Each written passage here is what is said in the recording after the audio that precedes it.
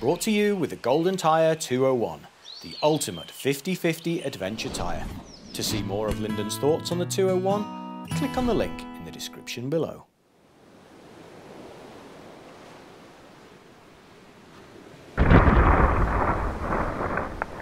Last time on Races to Places, Lyndon saw how the locals travel, plenty of sightseeing happened, and Lukas's bike broke down again.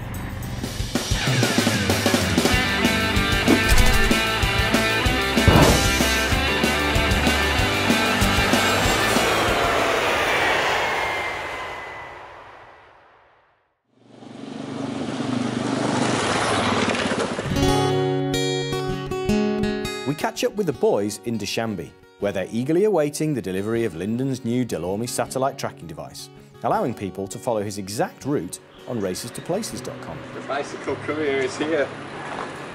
So right, Hey guys. hey, Hello. how are you? Hey, I'm Lyndon. It's alright. Nice to meet you. I'm Lukas. Nice to meet you. Hello. You have a very important package for me, I understand. yes, yes, surely. Ah, the, the magical, the magical Delorme. I have the tracker back now. People will know where I am. Next, they come across a local motorbike shop, where the owner has valuable local information about riding through the Tajikistan mountains. You see, it's a Bahram homestay Yeah. with a price, with the hotels, just for. Where is this market? Uh, is this here near It's Khorog? Khorog. Here is Khorog. Sorry? The market is only on Saturday. Where no? is the market? The Ishkandar or something? Where is the market? Ishkashim? Yeah, Ishkashim. Maybe this is it. This is where you can cross the border without an Afghanistan permit. No? As you can see, the bike choice that they go for is uh, very different here. That's Andrew on the right hand side, the moto mechanic, and Farhad on the left hand side. The local guy does a lot of riding in the Pamirs and has offered all his help. It's really good of him. Even on the Chinese bike in Dushanbe, Tajikistan. Look at that. And this is the guard dog. Armed with knowledge of the area and the location of a market, the boys head to pick up supplies, allowing Lukas to fit his new stator generator, hopefully making his bike reliable again. Doing some negotiating, Lukas? Okay. Doing some negotiating? What are you buying? Soldering iron, solder, flux, batteries. All for and the whole package price for the whole thing is six dollars. Six dollars for everything. Made in China. Very good. Hardware shop in the Market Street look. Yeah, let's go for a little walk down the market. Got all these little hardware stores look with like potato peelers and everything else. Hello. Hello Sean. Very good. You can get you can buy new gloves for riding in, you can buy paintbrushes, scissors. Yeah, we've got everything here. TV remote controls, very good. Pliers, scissors, torches, it's all good. In the market. It's country info time. Tajikistan is landlocked, meaning it has no surrounding ocean. Nestled between Kyrgyzstan and Uzbekistan to the north and the west, China to the east, and Afghanistan to the south. Tajikistan is home to some of the highest mountains in the world, including the Pamir and Alay ranges. 93% of Tajikistan is mountainous, with altitudes ranging from 300 metres to 7,500 metres. The mountains give rise to many glacier-fed streams and rivers, which have been used to irrigate farmlands since ancient times. The massive mountain ranges are cut by hundreds of canyons and gorges, carved by a myriad of streams that flow into larger river valleys, where the majority of the country's population lives and works. The country's top three exports are raw aluminium, raw cotton, and lead ore. The temperature throughout the country can range from minus 20 in January to plus 30 in July.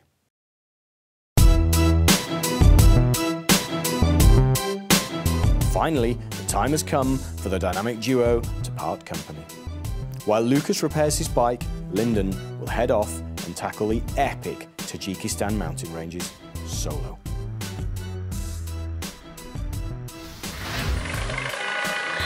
Just in the little uh, shop here.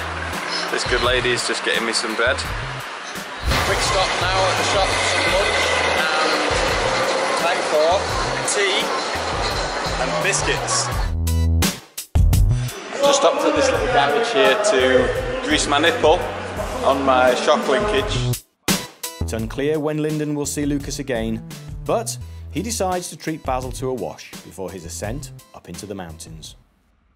Like any solo adventure rider, Lyndon has to accept the risks of travelling alone. And you can be sure they will always be on his mind over the days ahead.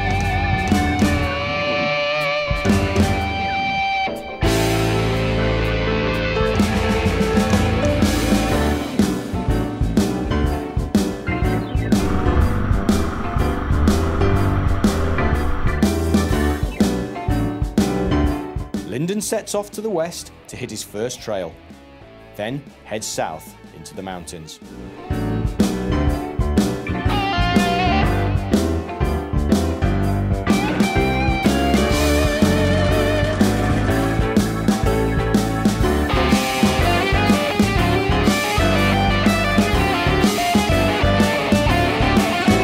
Eventually, the trail runs out, and Lyndon has to make the hard decision to turn back, but not before taking time to reflect on his recent ride.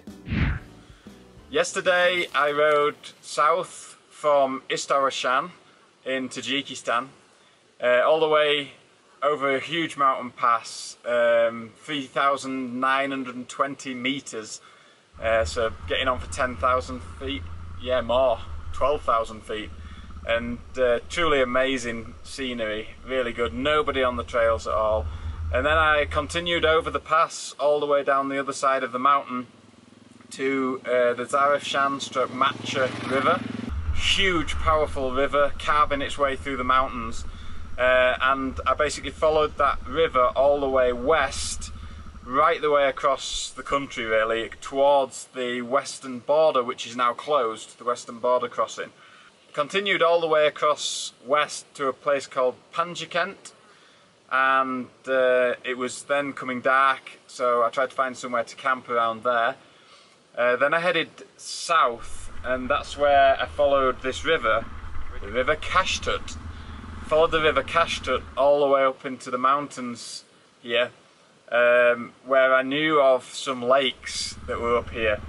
Basically, there's a concession of seven lakes. First lake, second lake, third lake. Starting at around about 1500 meters, I think, so around about 4,500 feet, and then working all the way up to here, probably like 7,000, 8,000 feet. Really beautiful being out here on my own. It's so idyllic. It's just like, I don't know, you just sit and watch the world go by, and then get back on your bike, go ride some more. What more could I ask for? probably could ask for one of my mum's big Sunday roasts. I really miss that.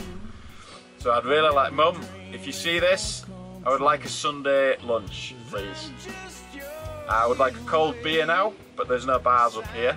Funny, I don't drink beer normally, but I've taken a bit of a liking to it since I started coming on this trip. Uh, it's nice to have just one cold beer at the end of a long day. Alright, I think that's enough for now.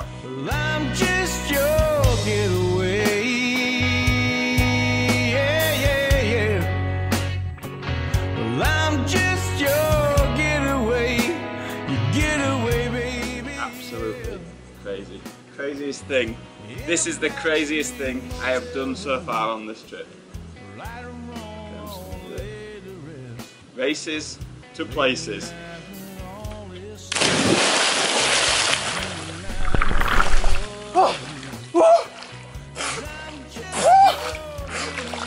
Whoa, that's cold! Woo! Yes! Awesome! Races to places! Oh, I can't remember the last time I jumped into anything as cold as that. Oh! My goodness me. That's cold. Oh! That ah, was cold. But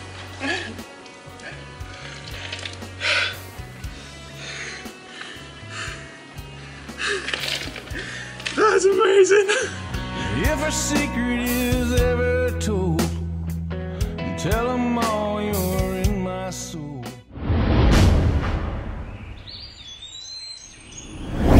Brought to you with the Golden Tyre 201, the ultimate 50-50 adventure tire.